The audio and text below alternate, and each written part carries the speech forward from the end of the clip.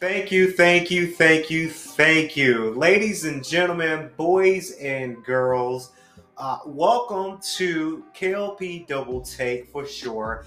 I'm your host, KLP Kennedy Lucas. Welcome back to another exciting episode, video, um, podcast, I'm assuming.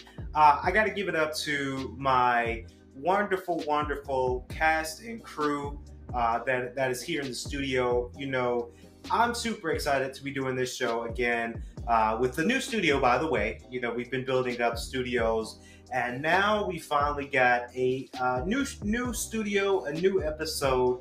Um, super super excited for this video. Hopefully, you guys enjoy this one. Uh, again, with KLP Double Take, when it comes to you know our talk shows, you know we like to uh, be kind of you know personal with our, our, fan base. You know, with a lot of shows, we don't like to be super super strict with our show. Um, so welcome to the KLP Double Take. Uh, this is our press reaction panel conference episode, if you will.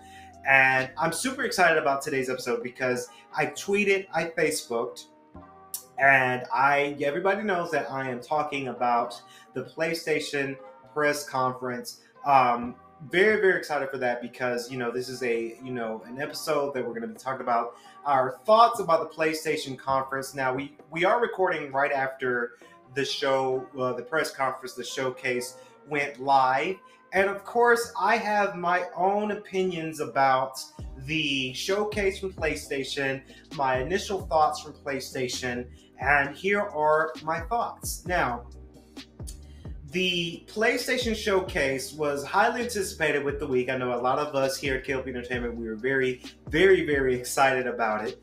Um, but I am really, really stoked. I'm very, very stoked about, you know, the future of PlayStation. Now, the question I want to ask everybody, and I, am assuming I'm asking everybody that's watching our, our video right now, was the PlayStation Showcase enough? And that's the question that I want to ask us. Was the PlayStation Showcase enough for us? Now, we do have to remember, guys, that we are going to be getting uh, Summer Game Fest in June. That's around the corner.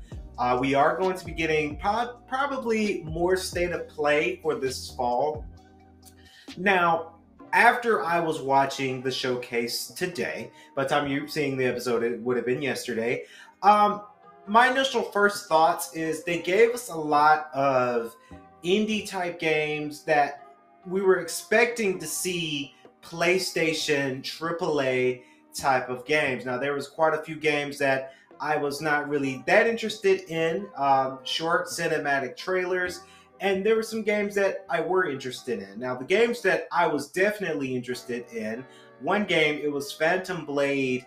Um, I, am forgetting what the symbol is, but Phantom Blade was a game that they showcased. I really liked the the style of that game. I really liked how uh, you know it's fast paced. You're you're this character. You're kind of slinging your sword around, your samurai sword around, and I really got intrigued with the character design and the fighting mechanics of this game. This game seems like it seems it seems like it would have been like a fast paced type video game that's kind of new to us right? And I feel like Phantom Blade is giving us a game buffer for when Black Myth Wukong comes out. Now it kind of it reminded me of Black Myth. Uh, Wukong is a high. That's another uh, game that's getting ready to come out next summer, summer 2024 by Game Science, and it kind of gave us that little oomph there, right? Because I'm always looking for a samurai type of game that is kind of in that play style, but it's a little bit fast paced. And that's something that, of course, Phantom Blade, I saw from the press conference. I, I'm very, very stoked about that uh, game as well. Another game that I am semi interested in, I played a little bit uh, with the first game. And of course, they did announce Alan Wake 2. Now, Alan Wake 2, uh, Epic Games was a part of it, right? And I'm very, very excited with anything Epic Games is working on simply because they, they're using the Unreal Engine, right? Very, very excited for us because here at KLP Entertainment, we do use Unreal Engine when it comes to our films. And of course, I'm very, very excited about the MetaHuman Animator. Of course, that's the new software to update where you can animate facial expressions right then on your phone. Super excited about that, by the way. But Alan Wake 2 will be in the works from Epic Games and Unreal Engine is going to be epic, no pun intended, because they're changing a lot of things from the formula. Now, if you guys remember, Alan Wake number one, it was a spectacular game. I played it, I enjoyed it, it was so much fun to play. But then now you have a studio that's coming in, revamping some things, rechanging some things, and it really got me excited for the quality of Unreal Engine. Uh, I can only imagine that having the characters be animated with Unreal Engine, they probably have a bigger studio and they're able to motion capture to what they need to make this game. I'm super excited to see where this game will traverse. So I can kind of understand why, again, we didn't see Spider Man. I mean, we didn't see Wolverine, but we're probably going to see Wolverine sooner or later. They're just focusing on Spider Man uh, 2. So, uh, we did get to see Gran Turismo, the movie, which. Okay. I mean, I'm not knocking on a film, right? I would never really knock on a film because uh, I make films, obviously. But okay, we kind of already seen it. We kind of already know that it's coming. It's getting ready to be aired in August. That probably wouldn't be a movie that I would go out and go see right in theaters. I'm pretty sure HBO Max or something, uh, they're gonna pick that movie up for us to get, for us to stream it for free. I, it's not a, a theater worthy movie in my opinion. It looks good though. The cinematography looks good. I just won't go out and go see this in theaters because I'm a PlayStation fan right? Uh, GTA 6, that was another game. That was funny. I laugh on the show because a lot of people really thought that we were going to get GTA 6 at PlayStation Showcase. No, I knew that wasn't going to happen. I knew that was in the rumors and it's coming, but you got to think GTA, Rockstar Games, they're going to market the game for both consoles. And hey, maybe they're gonna market for Nintendo Switch too. Who knows? I knew that game wasn't gonna come at the showcase. I, I, I when I saw people tweeted about that, I said, yeah, I doubt it. I really do. Um, because it's just it's that big of a game that it's super huge that PlayStation just can't handle that uh, announcement alone. I, I feel it's gonna be great on PlayStation Five. Don't get me wrong, but I knew that wasn't coming for this showcase. Um, the accessories. Uh, back to what I was saying. The the accessories. The VR games do look good, but the problem with the VR games or the VR system in general, guys, it's just crazy expensive. You're looking at a $600 headset, and if you order online, you got to think about the delivery and the taxes that come with those prices when you come to the VR headset, the VR2. So you might be looking at approximately $700 for this headset. And I'm sorry to say this, and Sony, if they're listening, I'm sorry to say this, no one's buying this product because A, you don't have a lot of games for it, and B, it's expensive. We are living in the society where a lot of people some of us can't even afford gas and groceries right now. So it, it says a lot when some people can't afford those kind of essential things. People are not going to want to go out and buy a VR headset with limited games for 700 uh, bucks. Like it's, it's not going to happen. So I think it's kind of a swing and a miss with the VR2. Good concept. It's just it's crazy expensive, and it's not really an investment to a lot of people uh, to want to go out and get this VR headset. Um, I would say a lot of us gamers, gaming community, we're gonna wait until the VR headset goes on sale because it will go on sale eventually. Everything goes on sale eventually. When the VR2 goes on sale and when they develop a lot of games for it, that's when I think it's to peak and a lot of people are going to pick up uh, the headset and try it out. Um, but for me as a consumer, I wouldn't spend seven hundred dollars for a VR headset with limited games. I think that's a waste of money. It's not. It's not really. There's not really an appeal to it, right? Um, another thing, guys. Did y'all see Project Q, the Q uh, handheld device that they announced? Okay, let's take a deep breath, guys, and all, all my my people, my cast and crew in the studio. Let's take a deep breath on this. It looks funny, and the concept doesn't make sense. So you have this what looked like you can say, hey, that hey, switch, you know, they have it to where it's a display and two of the, the, the controllers split in half, right? On a display. You can't do PlayStation Network or PlayStation Plus, rather. You can't stream games like that on this device. And the device requires Wi Fi. So let me ask y'all, my, my uh, the audience here in the studio and the fan base watching this episode, do you think that this is worth? Now, mind you, this device, you're looking at a $300 device, approximately, right? $300 device. You cannot stream games from PlayStation Store or PlayStation Network or PlayStation Plus, and it needs Wi Fi, right? Make it make sense. The math ain't mathing with that. So a lot of people, a lot of YouTubers will say it's a great device. So when you got to go to the bathroom and take a dump, you can sit down and play your game right there. But it doesn't justify that price point. It doesn't justify the function of it to where you can pick it up and take it anywhere, right? Things with the Switch is you have some games downloaded or cartridges, however you do it, and you can take that pretty much anywhere you go. Last trip that I've been on, minus New York, the last trip I've been on, I took my Switch with me and I was able to play all the games that I've had downloaded or brought with me, and I can take that anywhere I can go. I don't see where if you need the PlayStation internet and you can only play the games that's on your your console and it needs Wi-Fi for it to work too. So let's say if you take it and you don't have that great of great of a Wi-Fi. Let's say if you're traveling, you're at a hotel, and typically hotel Wi-Fi is not the greatest. It doesn't work. It doesn't work. So I don't see this being a, a selling point to a lot of people. I know a lot of big YouTubers will play this and try it out. I just don't. Again, this is not. It's not justifying. It's not. It's not mathing right.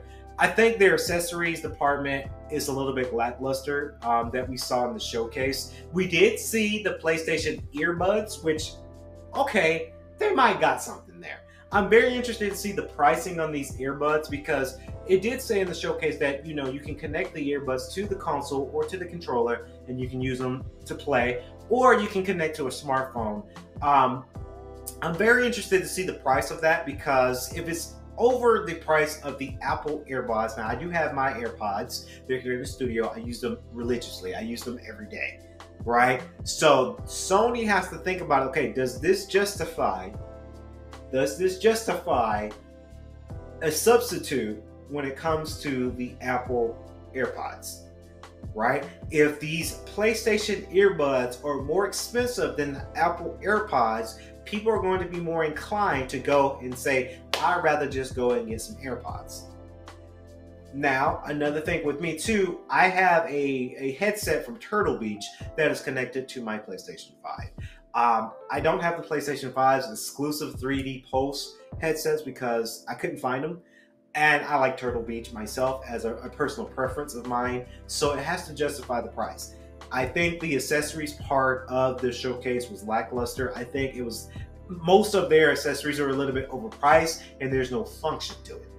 Um, and that's one thing I, I, really hope Sony and PlayStation they, they figured that part out is these accessories, the, the headsets, um, the dual edge, the dual edge controller, which didn't get announced in the showcase, but that controller is a $200 controller and the battery life doesn't last long. Another function that doesn't work for overpriced the the uh, earbuds. I'm very interested to see how much these earbuds will cost. It's a lot of cool looking accessories, but there's no function, right? And speaking of what's not function, of course, we did see foam starters, right? Or is it foam starters, T? Foam starters, start starters, foam starters. A blatant ripoff from Splatoon. That was the first game that they showed at the showcase and I laughed in the office. I said, This is Splatoon. They just ripped off Nintendo's Splatoon, but with more of an adult feel of it, and you're dealing with foam instead of ink. So I hope there's no lawsuit with that because they, they really just ripped off Splatoon. They really did. They they realized how popular Splatoon is from Nintendo, and they said we're gonna make our own version of this, right? We're gonna make the characters look more adult We're gonna make them squirt out uh, foam and, and, and soap water and bubbles instead of ink. And there's our game. Blatant ripoff, guys. Good job, Sony. And it, this calls us for the main event of the uh, showcase. Um, this was really the only AAA type game minus Final Fantasy 16, which we kind of already got the release date. We kind of already know about this game. Um, I, I, don't know if this will be a, a, grab or pass for me personally. I I don't know. I just it looks good. I'm not gonna lie, it looks good. I just I prefer Final Fantasy VII and how the remake was. It was Final Fantasy VII remake, oh, amazing. I was kind of hoping we were gonna see a little bit from Final Fantasy Rebirth. That would have that would have hit home for me because that's part two of the Final Fantasy Final Fantasy VII remake, and we didn't get that. You know, we might get that on um, Summer Game Fest or State of Play later on. I was kind of hoping for Final Fantasy VII Remake Rebirth. We didn't get that, but we did get kind of the same thing that we already know about. Final Fantasy 16 comes out June 22nd, by the way. Uh, we they they showed us Street Fighter 6. Again, we already know about it. It comes out tomorrow, actually. Um, we already know about those type of games, so I'm just kind of like, okay, this is good that you're showing us this, but I feel like you're just filling in time, Sony. From the showcase, they're they're filling in that time because we already know about that. Amongst everything else that is AAA in my eyes, of course, obviously Spider-Man 2. Uh, it is good that we did get Kraven uh, the Hunter. He is going to be one of the um, uh, antagonists that is in this game. Um, in the showcase, we were able to see some gameplay, and I want to give you guys my initial thoughts. Um, it looks good. It's hard to justify it from the 60 frames per second, the 4K, the crisp cutscenes that they added because this was streamed from their from the showcase. So it's it's a little bit frames drop a little bit because it's you know it's on YouTube. You're we're watching it live. You know it's different than actually playing it and seeing it with your own retina eye on the PlayStation. So I have no doubts there. The hub interface of each character it's different. I think that I hope there's a way that you can make the hub a little bit smaller. I'm not a super fan of it. It's okay and when I say hub, guys, I meant like your health bar, uh, the the commands on the left corner, the little bug. That's what I mean when I said the hub uh, interfaces. You know, the the health bar and all of that jazz. I get they're going for like a black theme because the theme of the the cover art is you know you got Venom. You know, I kind of I understand that. Um, not so crazy about it, but I think I can overlook it, right? Because I do like the aspects of hey, we're switching between the characters right then and there. You got Peter Parker and Miles Morales, both Spider-Mans, right? You're Peter Parker, who is in the symbiote, uh, symbiotic, symbiotic suit, Venom suit, and you can switch between him to Miles. That's good. I, I like that. I'm rocking with that. The character development looks good. I really, really, really, really, really like it that this game is bigger than the first one, right? Now, in the first game, you're only limited into the city of New York City, but it looks like this game expands from Manhattan. It looks like it can go up to Brooklyn, up to Queens, Harlem. Outside of the, the, the main city area of New York, it seems like you can go even further making the game bigger.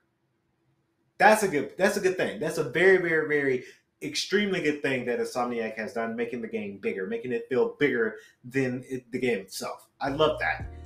Another plus is I really like how you know you're you're in the cutscene, but then you're still controlling your character. You're, there's still action within that cutscene, and that's something that Insomniac Games they've been doing since Ratchet and Clank Rift Apart, where the the PlayStation 5 system and updates, it's quicker. You can react faster. You're switching between characters faster. As if the, the action never stops. No, they Insomniac Games, they got something there when it comes to that, and I, I applaud them for that. I really do. Um, you've got Lizard, you know, you've got uh, Lizardman's in there, Kraven's in there. I can't wait to see all the other characters that are in there. Uh, Genki's in there. Uh, he's controlling the drone, or is is he in the drone? I, I don't know, right? Because it sounds like he was in it. Like it sounds like something like it sounds like he died and like his his intelligence is in the drone. I don't know, or he might just be controlling it. We don't know. We don't know the aspects of the game. Um, I'm very very interested to see how Peter Parker and Miles are going to interact because what we saw today, Peter Parker with the symbiotic suit the, the Venom suit, right? He's different. His demeanor is different. His attitude is different. Everything, his whole character is different. I'm very, very interested to see how they're going to clash because they will clash, right? We it's, it's a no-brainer that they're going to clash in this game. They're going to end up fighting where I feel like Insomniac made it to where you pick the character that you want to fight against. So if you pick Miles in a cutscene or mission, then you're fighting against Venom Peter Parker if you will. Right? I'm, I'm excited for the story development. Um, yeah, guys, Spider-Man 2 is, it looks great, right? And I can kind of see why Insomniac is putting Wolverine to the back burner for a minute because they've got this big game. This is going to carry us over. One thing I didn't like, we didn't get a release date. We've got fall of 2023, which is a good sign, right? It hasn't uh, God forbid, God forbid, this game gets delayed a couple months, right? God, God forbid, right? We still have the release date of fall 2023. Now, after seeing that and seeing fall 2023, and I might be wrong, I don't think this game is coming out in September. I think this game is coming out late October, is what I think. Because if you have, and I might be wrong, right? Because they might announce a release date, Summer Game Fest. Or they're going to build this game up too, by the way. If not Summer Game Fest, then they're probably going to give us something as of their state of play. To where they might give us an exclusive state of play that solely talks about Spider-Man 2. They're probably going to give us in that state of play more things that it's in the game, more mechanics, more modes, more character customizations, more stuff. Then they're going to give us a release date. Do I think it's going to be September, as everybody rumored? I don't think so. Again, I might be wrong. I don't see that this is happening in September. I would love it for it to come out in September because you think about it, that's what five ish months away. I can wait five months, but I think they're going to build it up, right? Because you got to remember, late September, early October, Spider-Man 2018 came out, and then the Miles Morales game expansion came out. I want to say November-ish, right? So they're probably going to follow that same uh, formula. So I, I, look forward to it. I'm very very excited for it. Um, my my end result of the showcase. Yes, the showcase could have been better because I think a lot of us gamers we were ex- we were expecting triple A titles. We were expecting uh, more of um, IPs, Ghost of Tsushima, Sly Cooper, maybe something from Jak and Daxter. We didn't get that. I didn't get what they said spelling bound updates. Uh, I thought we were gonna get something from from Hogwarts, but no, we didn't get that either. Right? Um, it could have been better. It could have been better uh, for them to say, "Hey, we're coming out the gate. We're swinging out the gate with all these new these newer games, current IPs." We didn't quite get all of that, and that's why I say this showcase could have been better because they set the bar here and we're here our expectations is here and i would say they're about they met us right here ish right we didn't get to see we didn't see we didn't see a whole lot and i felt like some of the things they hold back they hold back on maybe um, but you know I, am looking forward to it again my final uh, results is, you know, I look forward for Spider-Man 2. I look forward for um, Metal Gear remake. That it looks from from the cinematic trailer, it looks promising. Um, but it's a lot of things they held back on, and you know, it is what it is. It's over now, and you know, we'll have to wait to see what the polls say. We have to see what wait to see what people say on Twitter and see everybody's reaction videos on YouTube. So you know, so that's gonna wrap it up here on the KLP Double Take. Hopefully, you guys enjoyed this one as much as I did. Please remember to leave a like, comment, and subscribe to the YouTube channel of KLP Entertainment if you're watching this episode on YouTube. And if you're listening on iHeartRadio and Spotify, Apple Podcast, Stitcher, Audacity Radio, and so much more. Thank you guys so very much. Again, also share it with your your friends, your colleagues, your families, your loved ones, your dogs, your cats. Share it with everybody so that way you guys don't miss our final reaction video from the PlayStation Showcase. And also, comment below what was your favorite thing about the showcase or what was the thing you didn't like from the showcase? Put it in our comment box. We would love to hear from you guys here at KLP